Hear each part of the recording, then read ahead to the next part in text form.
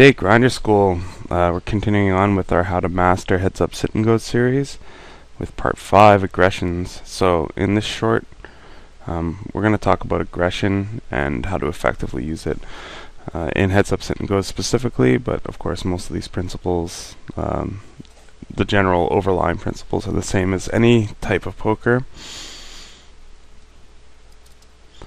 So, um, we'll talk about a comparison of aggression versus passiveness, and using aggression, baiting aggression, and controlling aggression, um, which is generally the same. So, um, to start out with, in general, you definitely are hard. A player is definitely harder to play with the more aggressive they are.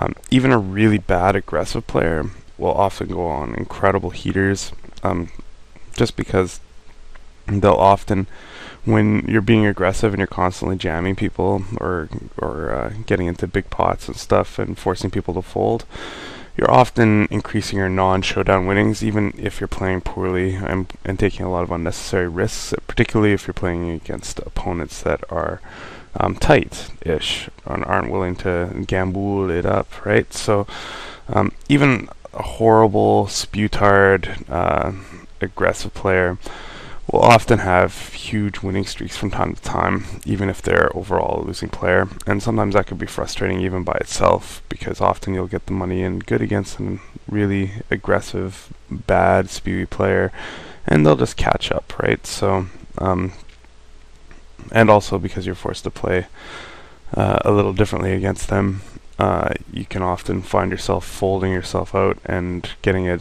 big chip disadvantage that uh, you know ends up when even when you get your money in bad or good or whatever, uh, you've already lost enough of your stack that uh, it makes a huge difference. So, um, and any day of the week, regardless of uh, stack depth or, or type of uh, hold'em that you're playing against, uh, a passive player is always more welcome than an aggressive player. Um, so when we decide to use aggression ourselves, uh, we want to try to maximize the spots where we're going to get a lot of folds. Um, we're also going to take advantage of any sort of aggressive image we have to get value from our value hands. And um, against competent players, we're going to balance those ranges. So uh, we might be doing overbet jams as an example. Um, both for value and as bluffs and spots uh, to merge our ranges. Um, obviously, most of the money we make, though, is going to be against poor players, so we're going to have a tendency, except against stationy players, like against relatively fishy and predictable players, we'll, we'll be doing uh, overbets as bluffs. Uh, unless we're playing against stations, and of course our overbets are instant value. So um, against another player that's being really aggressive, we can often bait aggression. One thing to note about that, a lot of mistakes that I see people do is that they'll suddenly limp a strong hand, even though they're playing against an aggressive player that's been jamming them up um, so often or raising them. So that there's very little need to um, put your strong hands into a lower range, i.e., limping. Um, versus a player that's going to be raising you up an awful lot. So keep that in mind. There's no need to, to get too tricky in baiting players, and uh, aggressive players tend to get even more aggressive as stacks get shorter. Also, uh, controlling aggression, similar to baiting aggression, but what I'm, I'm looking at here is sometimes you're the the villain will be aggressive, and you'll be trying to minimize their aggression with certain plays. Um, I'll get into an example of, of each of these as we're talking uh, in some, some very specific spots that we use aggression. But in general, you should always uh, take into account when playing against an aggressive player uh, how to basically control the pot, which is an underlying um, principle in all poker, um, pot control. So controlling aggression basically relates to that.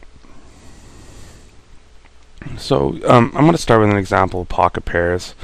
Say you were 50 big blinds deep against a villain uh, who's a reg, and has a three bet percentage of approximately 30%, 28%, say in this example.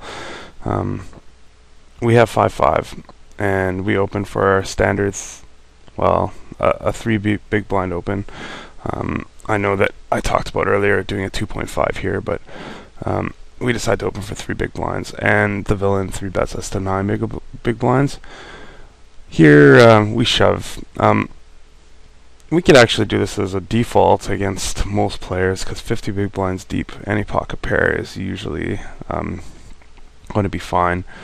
Uh, against the villain that's opening 28%, uh, especially this deep, they are going to be pretty reluctant to call with a lot of the range, depending. And even when they do call, 5-5 actually stands up pretty good against that range. Um, so as long as we can perceive having some fold equity here, and we definitely have that. We uh, we can definitely shove a small pocket pair here, 50 big blinds deep, perfectly fine. Now, um, against that same villain, if we were 20 big blinds deep, we might try doing something like this. So we have 5-5 again. Uh, we decide to limp, and the villain raises us up to three big blinds, and we decide to jam over top of them. So in this spot, normally when I get into my short stack uh, portion of this series, I talk about how 5-5 here, 20 big blinds be, would be a standard open jam. And um, that's simply because we want to maximize our, our fold equity. But against a villain that we believe is going to be isolating really light, this might actually end up making us more money in the long run. Um, and it isn't necessarily something that I would do readless, but uh, against somebody with any level of aggression, this isn't uh, horrible. And again, Five five does pretty good against somebody that that's going to bump up to three big blinds, especially if we believe that they'll have a bluff range for that. So uh, those are some ways to take in mind. Uh, keep in mind when playing pocket pairs, uh, and maximize your fold equity uh, with them. And they're relatively strong hands, where you will do all right post flop, or getting them all in pre flop, I should say.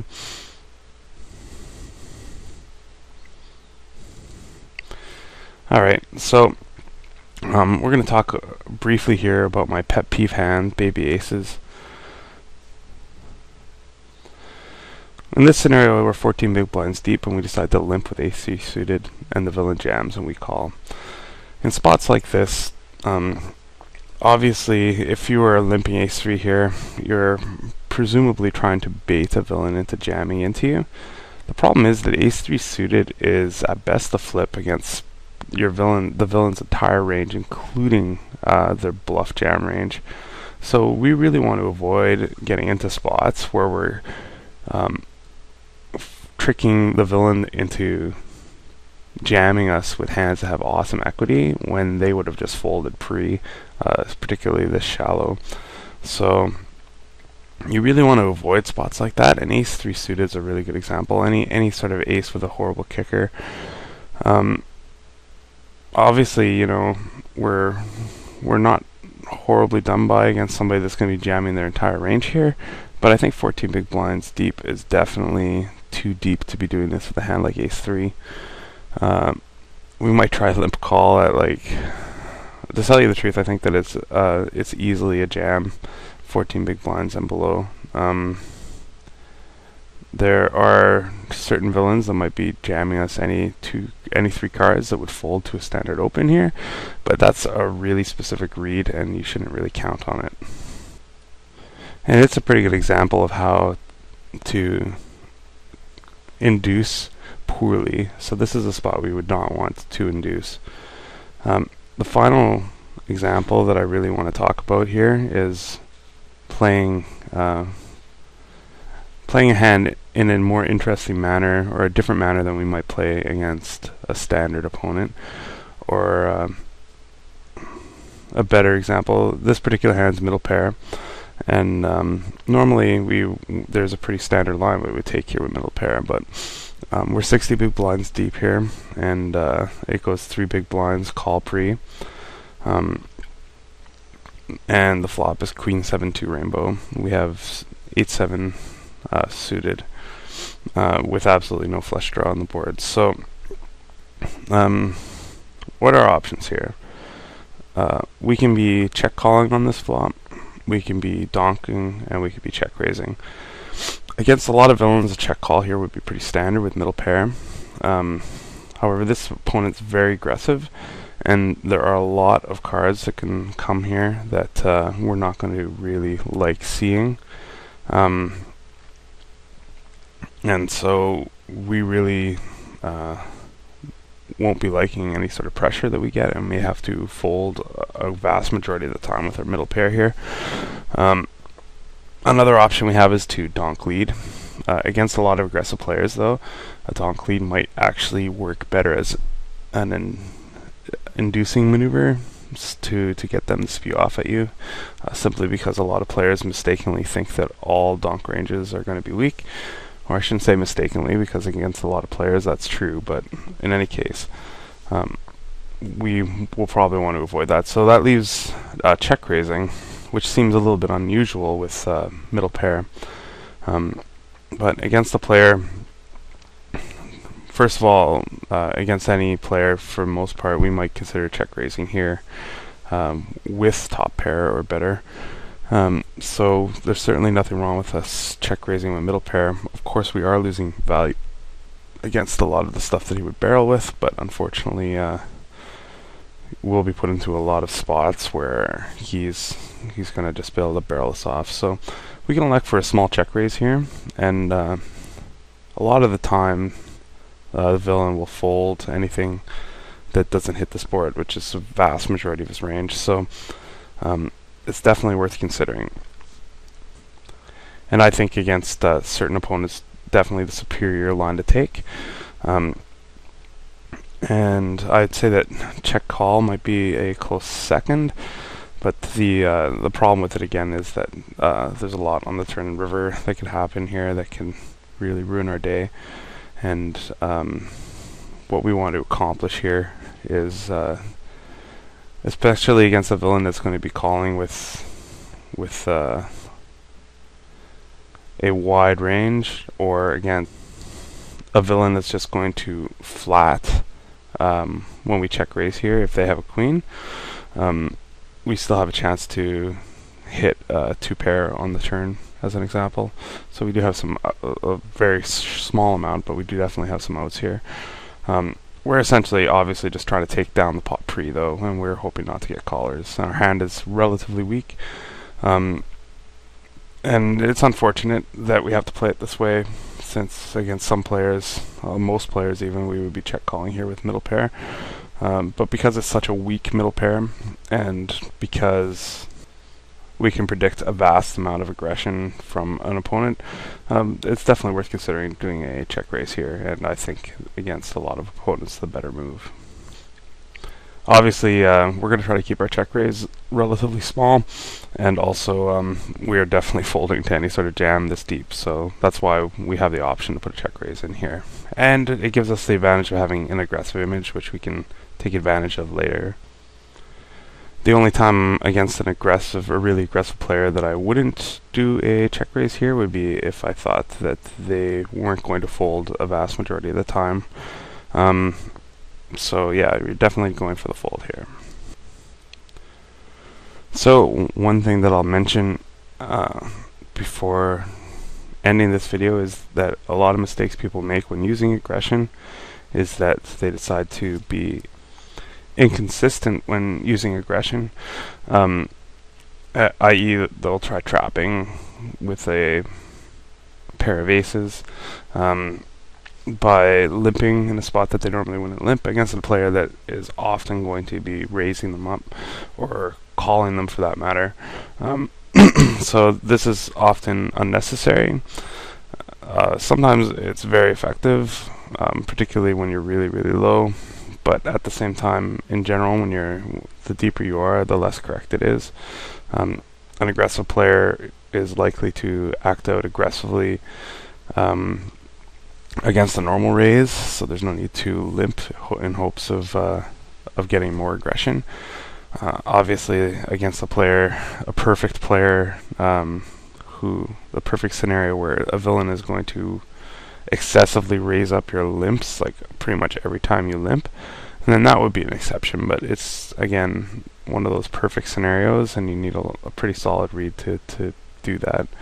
Um, and also, while there's a lot of time when taking passive lines in order to encourage aggression is good, um, even with moderate hands, the um, when you know a, player is likely to attack a check call type line, uh, thinking that you have a weak range, is likely to attack it pretty wide. Um, while you can get value from uh, doing a check call line for three streets, you, you, must realize that you're often going to be using your whole stack, and sometimes it's uh, it's way more worthwhile to try doing a check raise and and uh, take down the pot right away before things get a little bit nuts, particularly on dry boards. So that's just another example of how we definitely want to be trying to manipulate the aggression of the scenario uh, and to take advantage of any of our villain's tendencies or try to control our villain's tendencies in order to maximize our profits in hand. So I'm going to end the video here. I hope that I left you guys with a lot to think about. Um, if you guys have any questions or comments, feel free to leave them in the forum and I'll make sure to address them as soon as I can. Thanks very much.